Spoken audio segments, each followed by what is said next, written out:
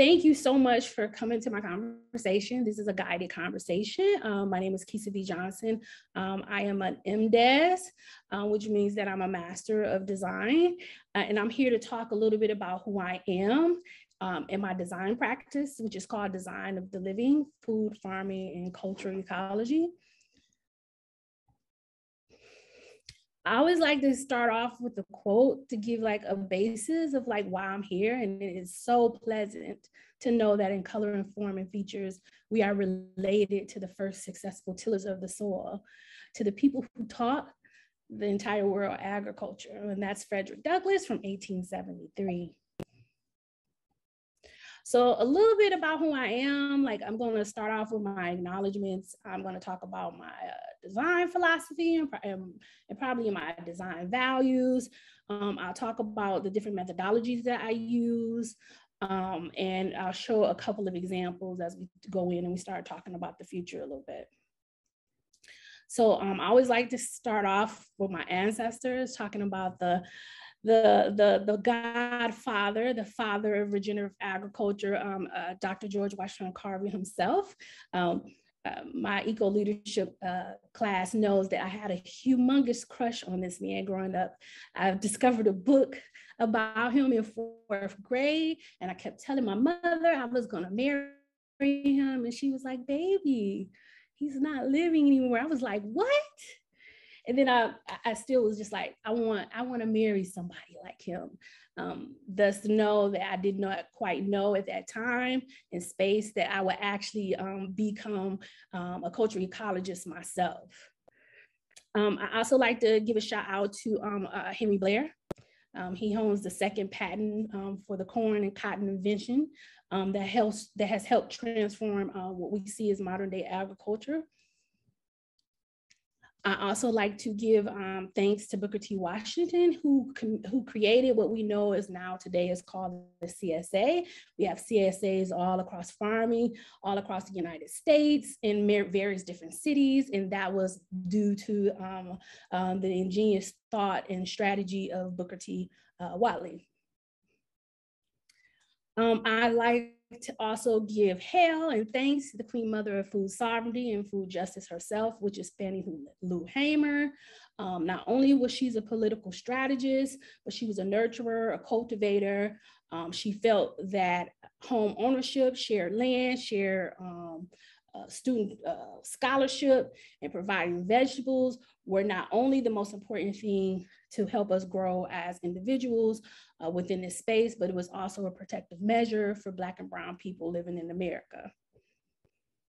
Shirley Chisholm, I'd like to give thanks to her and her husband, who um, uh, uh, Shirley and Shiraz, uh, the Sherrods, because they helped bring the thought of community land trusts um, within the United States, within the Black communities. Uh, uh, community land trusts are very important. If you can tell, there's been a lot of land theft uh, uh, amongst Black and Brown people for um, over a decade. Um, I also like to give a shout out to farming cooperatives. Although farming cooperatives wasn't um, a model that was created within the United States, um, but it was a form of modeling for Black and Brown people within the United States um, to be able to actually be human beings within spaces, to be able to uh, nurture themselves as individuals, um, nurture being successful, nurture um, being able to raise your family within safe spaces. And so farming was a huge part of that. Um, I also like to give um, thanks to the Federation of Southern Cooperatives because this is a, a, um, a very specific cooperative that is very deep within agricultural self-determination, which is on a regional scale. Um, it came out during the civil rights movement, like similar to like the MLK Poor People's Campaign. Um, but the emphasis was just not just on food, but it was here to talk about voting rights, it addressed economical injustice, lack of jobs, and disparities, but it also uh, pushed forward for self-determined econ um, economics and businesses. Uh, another organization, which is Detroit, um, which of course is Michigan based, is the Detroit Black Food uh, Security Network. Um, I really enjoy working um, with this group of people because they draw on the past and they understand what a food sovereign future actually looks like. Um, a lot of individuals, what, what we may not understand within the Midwest, there was a lot of migration that happened from the people from the South, and those descendants came to the Midwest to kind of keep catapulting that dream. Um, uh, in Detroit was specifically, there was issues around white flight, um, due to the civil rights movements and then uh, uh, several uh, injustices that happened uh, within that space. Um, but this organization is all about food security and, and, food sovereignty, and I like to give thanks to them as we go about. And none other than Cleopatra herself. Uh, she was a Black agrarian as well. Um, she knew that the earthworm was the most important thing on this earth. And she also declared that anyone who touches the earthworm will be subject uh, to her, um, her vengeance. So earthworms were protected. And you can see how the ecological base of like, it's not only about humans, but it's also about all living things that are around us that are important. So uh, let's talk about my design values. And I like to always go to that know thyself. Um, a lot of how I function and form comes off of understanding who I am as a Black person within this space and how Africa is very centered in, in me understanding who I am.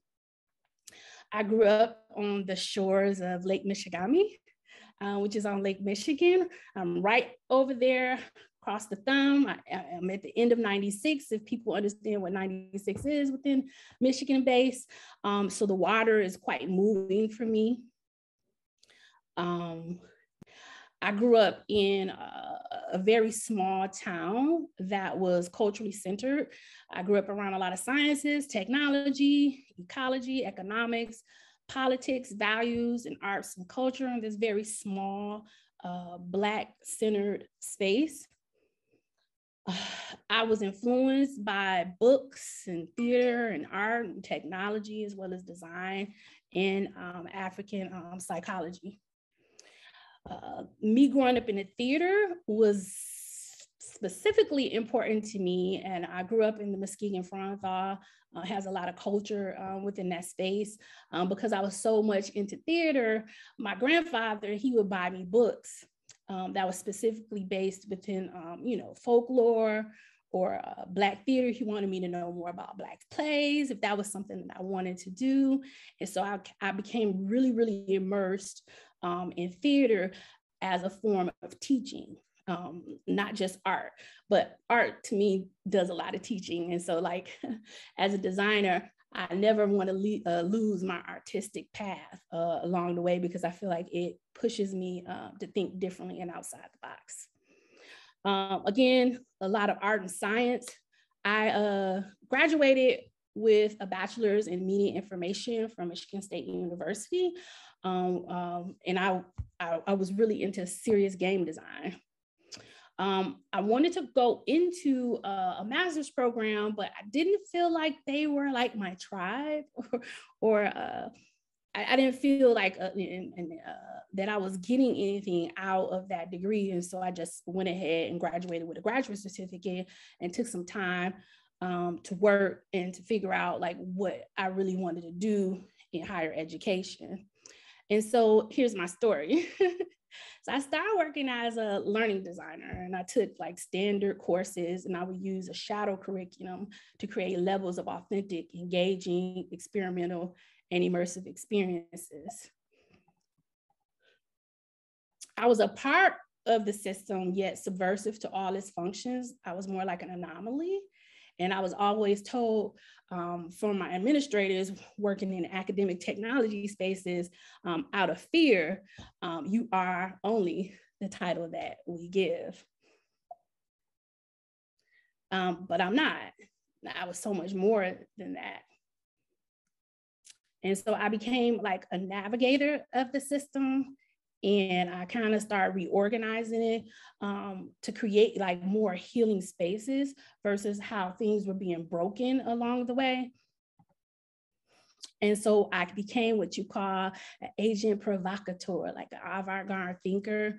And what I did was as a learning designer, I would take courses or um, online programming and I would embed um, uh, culturally relevant um, and uh, bridging like uh, bridging technologies within the space, whether it was through the language or the activities or even through the information that was being shared. And I did so much amazing work. I would win a lot of awards for how, you know, things were set up, how things functioned, um, and how, and the learning uh, that came out of it as well.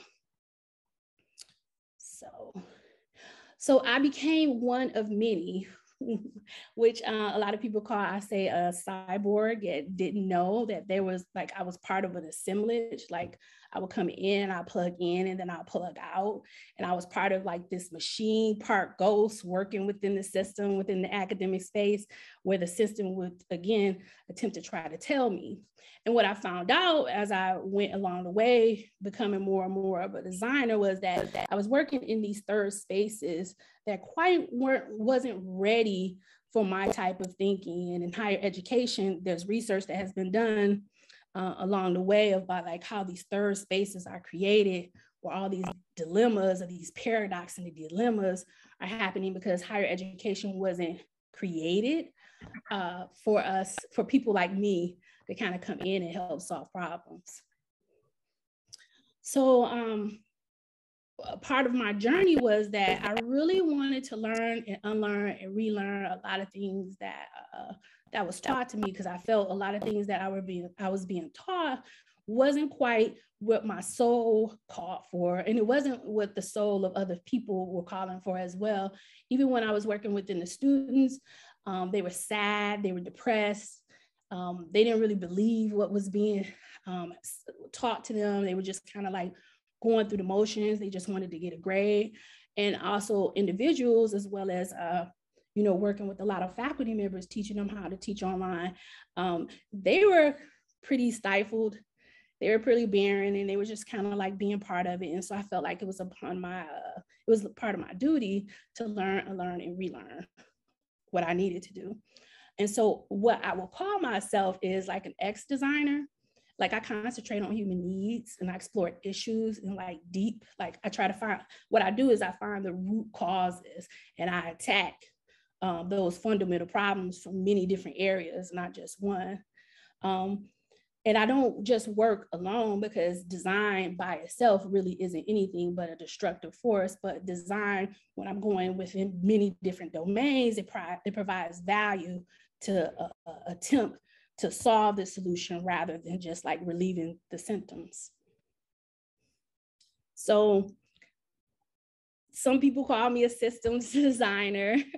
some people may call me a human-centered designer and some people may call me an experienced designer, but I do really do believe that I'm an ex-designer and I, and I help solve like social technical problems. Um, uh, but within the food space, I would call myself something different. I'm more of a community engaged scholar, a community engaged strategist and designer.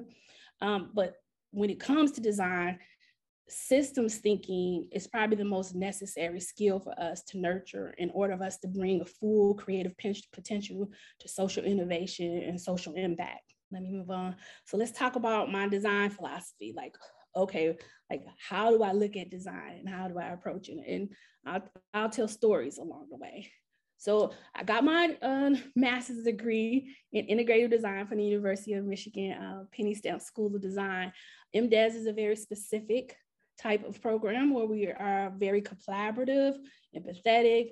We look at complex issues, it's cross-disciplinary, um, and it's very, and, and, I deal with very open-ended um, uh, situations and um, problems. Uh, a wicked problem is a social or cultural problem that's difficult or impossible to solve for many reasons because it's it's just that wicked. um, it's that's just how it is. It's it's how it is because of many, many, many different reasons. And if we don't talk about the reasons why we get into these wicked, sticky spaces because not we're not really able to call them out. And I, you know, I always tell people wicked thoughts, wicked problems, wicked systems. You know? uh, one of the things when you're looking at design, uh, a lot of spaces when, you're, when you're looking at like, is it design led or expert led? I'm more of like the participatory mindset in many different ways. I do a lot of generative uh, design research. Generative is just another, another word for creativity. Um, but depending on the project, I could go over here with expert design or user-centered design, but I mainly stay over here within this space um, of, of creating new things. I had to look at a variety and breadth of things to immerse myself in order for me to be able to look at this complex problem like it really is. And um, so I was very lucky, lucky to um, participate in the Food Access Project in Michigan. Um, what I learned was that researchers focus a lot on studying food access in low income communities of color by examining its proximity to supermarkets and grocery stores. Not that they were looking at well, there's other healthy ways that people sustain themselves. They only looked at it if it was in proximity to grocery stores. And they the link lack of uh, supermarkets with consumption of unhealthy foods and poor health outcomes. Um, researchers often ignore the complexity, complex, the deep complexity of food in communities of uh, color in a myriad of ways.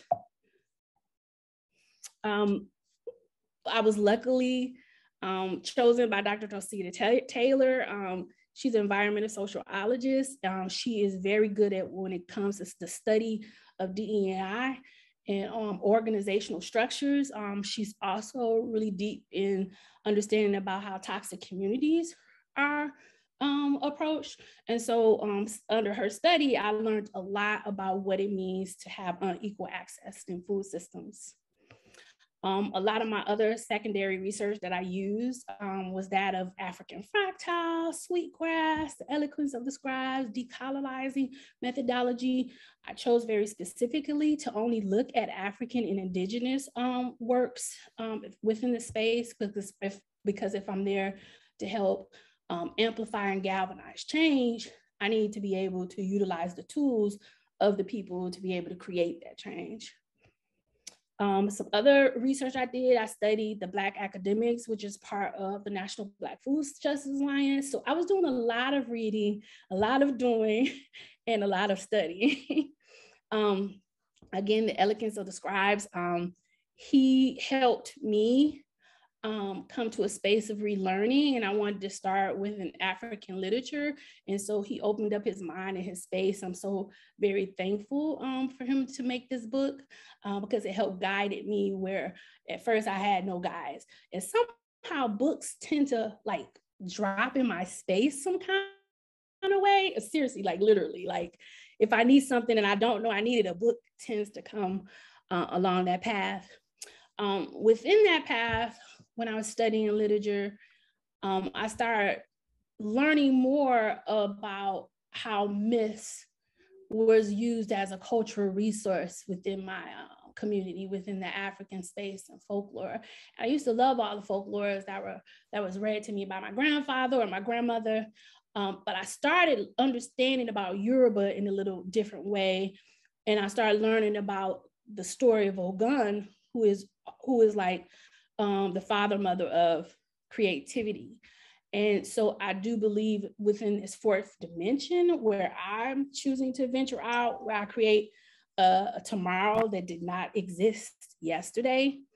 And I feel like through the story of Ogun, um, when we look at it, it's this space for the innovative soul, um, the type of person who lives, design new frames life, um, the creative, the thinker, the artist and the scientist.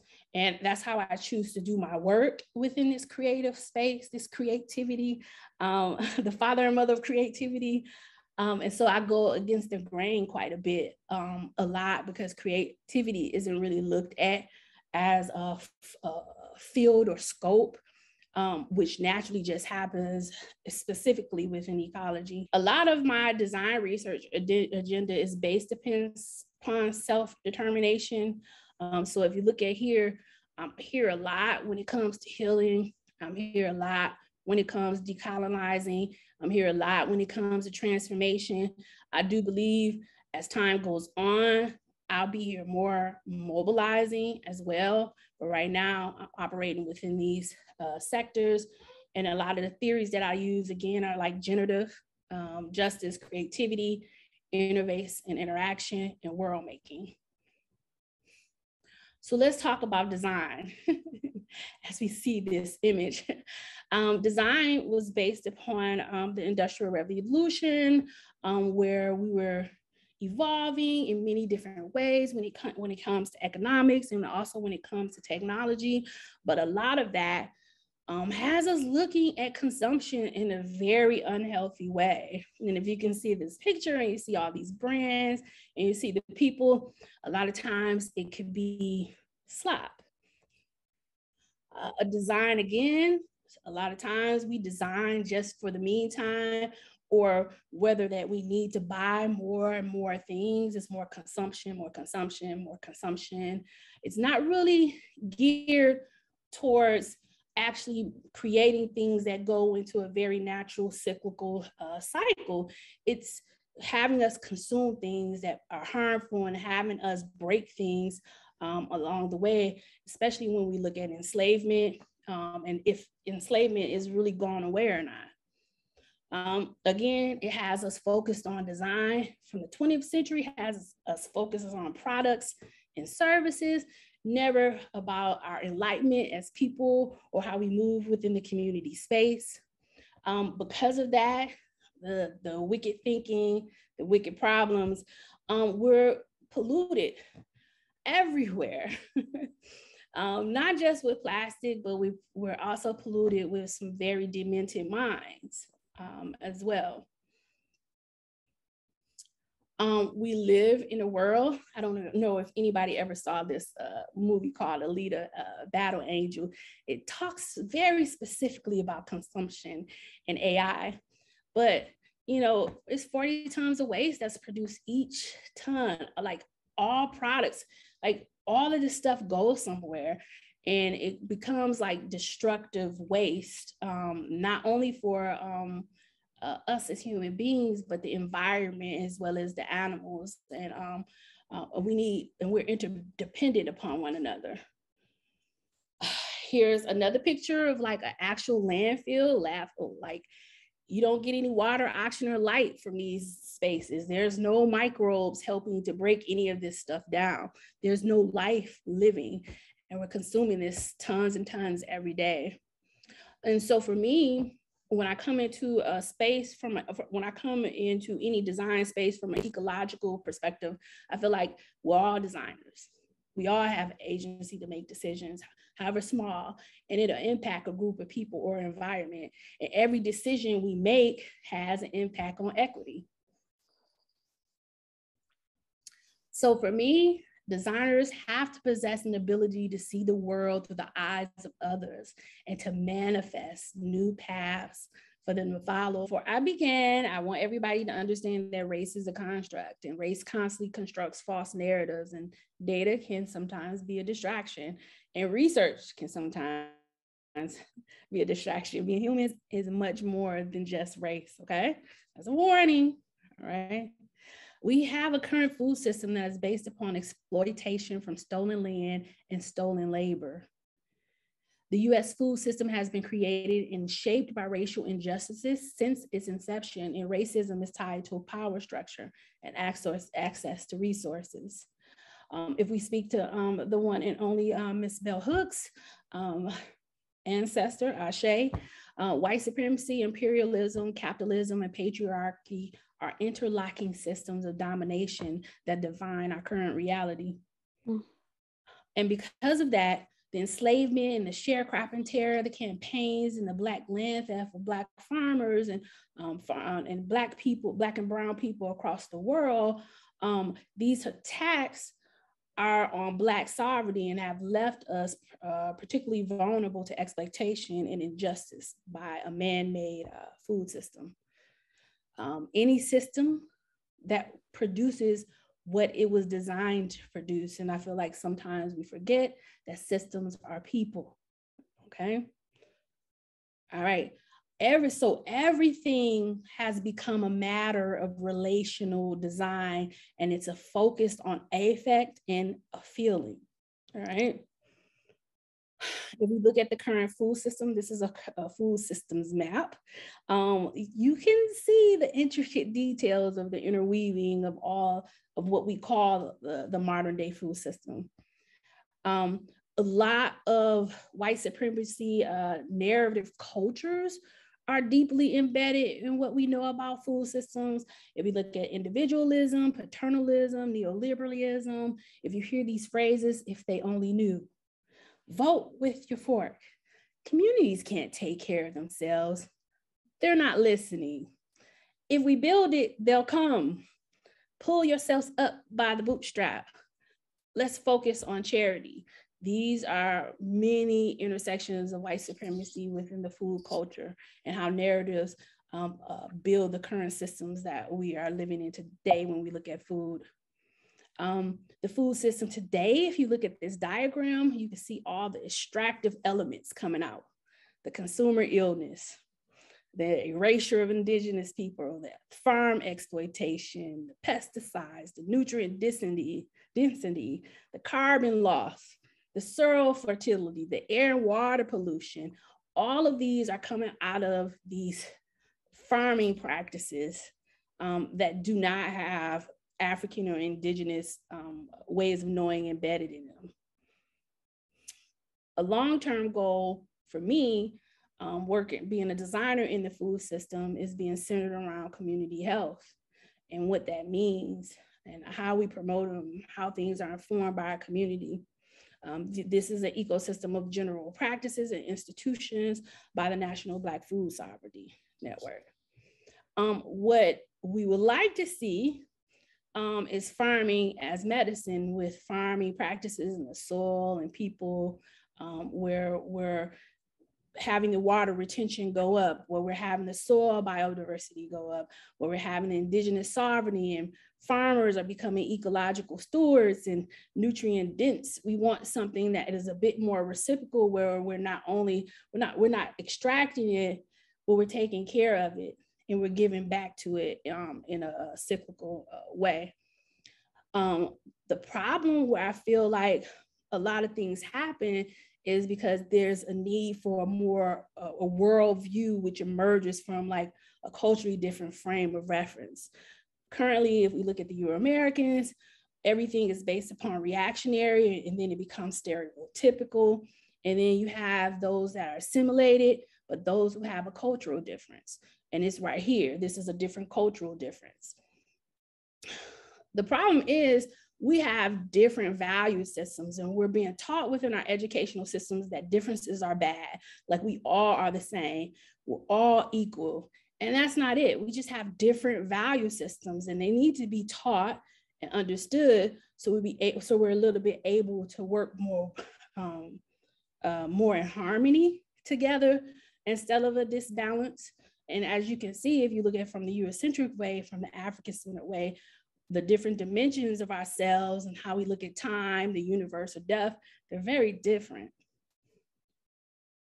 So that is why culture is so important and why we must study it, even from a very academic space when we're looking at the different groups um, and how we see issues or ideas um, our nature of reality is different. Our value orientation is just different. Our cosmology on how we um, we have a relationship to divine, how we create systems of truth and generate knowledge. All these things are different for us, for different people.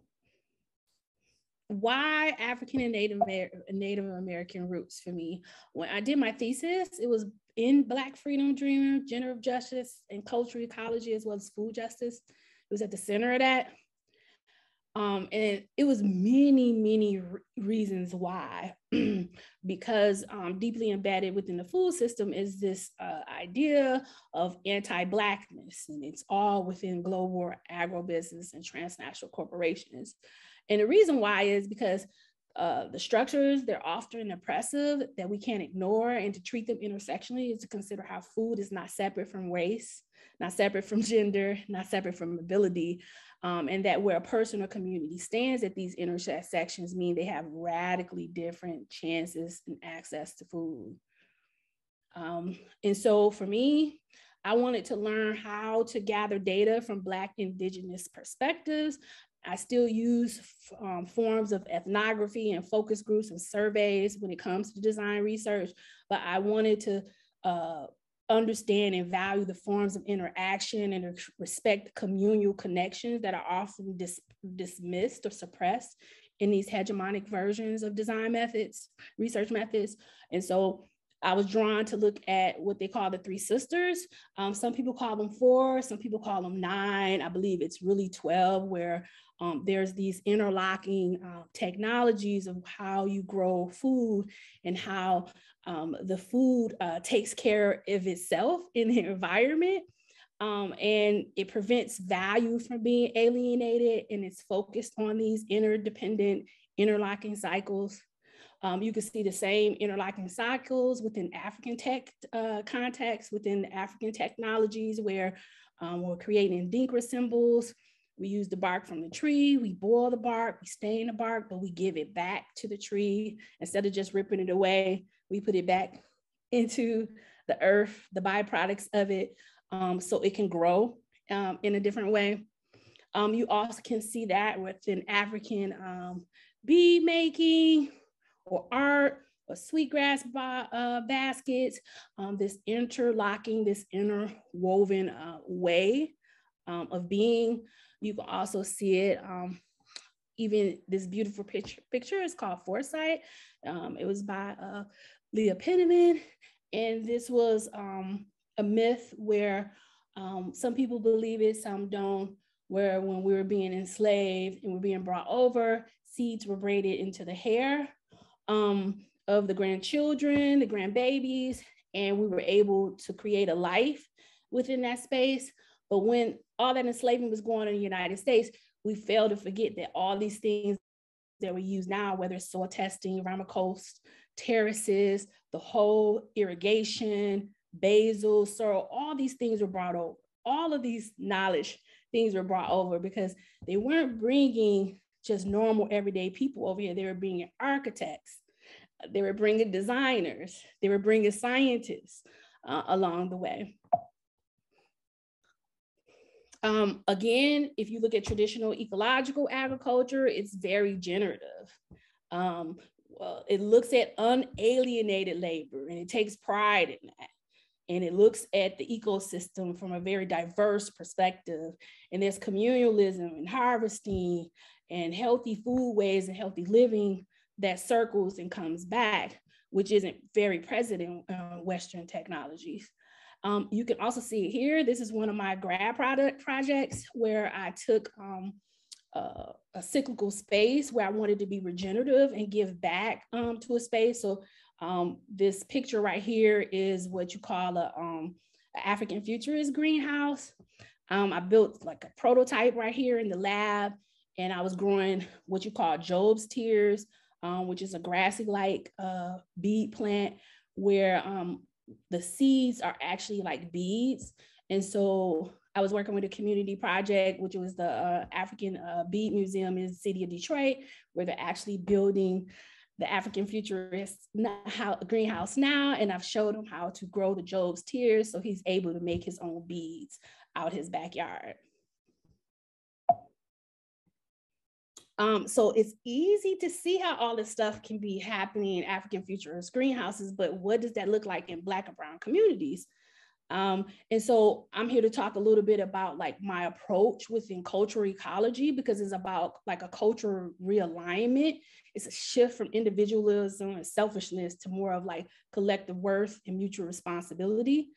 Um, cultural ecology is based upon uh, three um, states of mind, it's about character refinement, cognitive restructuring, and cultural alignment.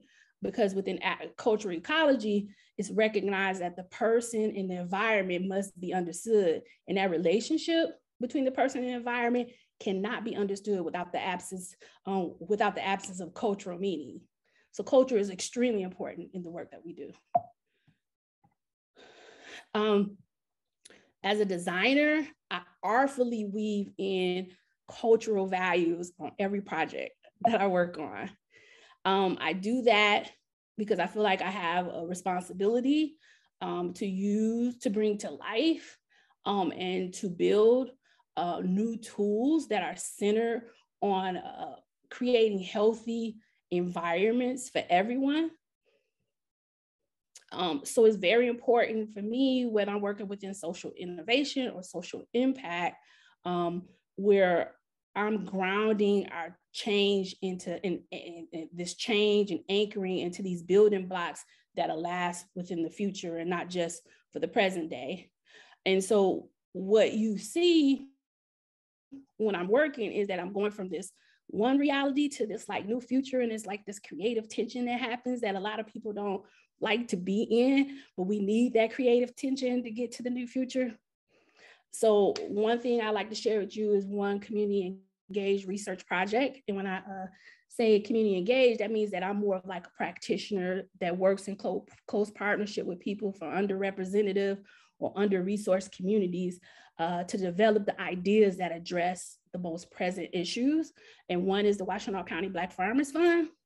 Um, the Washtenaw County Black Farmers Fund was created from the, uh, the county of Washtenaw within uh, the state of Michigan. And they're taking actions to build a more equitable food system. Um, when I came to this work, um, the Washtenaw Food Policy Council approached me and was saying like, hey, we need to build space for Black farmers. We want to do a fund. How do we do it? So it wasn't just about campaigning, it was also about strategy and deeply embedding um, healing technologies within the space. And so when I look at the equity and access work we were doing, we were looking at resources, which was the land, we was looking at power, which is relationship building, and then we was looking at the dignity of the individuals, and we shaped that around the communications. Um, we had a very tight timeline with grant funding, and we had like a lot of things to get done um, in a short amount of time. Um, what I did was I took six members who actually participated in a D&I learning cohort. I looked at the grant goals and I was like, okay, here's some plans of action that we can do to amplify this work.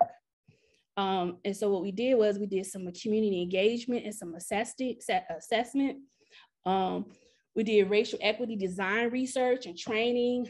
Uh, I put I put the whole council, I put the whole council through some uh, racism training. So they had the same language when they were working with one another. They had a firm understanding and grounding of the inequities that many of us didn't get a chance to learn about in school. Um, then I start doing like a social change ecosystem and mapping everybody's roles out um, where they wanted to work. And then we did a community uh, table of collaboration because we wanted to engage in co-creation with other people as we moved along. Uh, we also did like a survey for idea tool collection, but for everyone got together and we were hearing different things of like land access and capital for current aspiring BIPOC farmers. That's something we need to address, land reparations. And they like to actually have the makeup of the council be much different. Um, and again, we sent them through what you call Soul Fire Farm, Uprooting Racism in the Food System Training, which is a theory action workshop for environmental and food justice leaders. People can take this individually as well, but we went through as a group. Um, within that goal, we also, I, I, I, pivoted and I created like a map of like how many different organizations uh, participated as well as the community members. Um, and what you see now is um, these are all the community partners um, that I tend to uh, work with, but um, and here's are some of the organizational partners uh, that I tend to work with, but with the Black Farmers Fund, um, we have a, a, huge coalition of people based upon the research, the, the community engaged design research. We found many people who wanted to work within this space, um, we set out for a goal of $50,000, but we ended up raising over $150,000 and we're giving it out today. And we're having our first cohort uh, come out uh, next month. Um, here's a community engaged design project. Um, this is We the People. The framework is centered within like a soil assessment, which is an assessment that I have created. It has resource identification and a soil management plan for them to follow while they're going through the cultural ecology of like changing their cognitive space and being more in depth within what culture is. And the farm interns creates this journey map based upon the experiences that they go through with me as their teacher and also utilizing a lot of farm um, program resources such as financial management, uh, uh, mental health, uh, community service with Habitat for Humanity, uh, Michigan Works, um, they take full responsibility of, for their soil management plan because they're there to change their soil.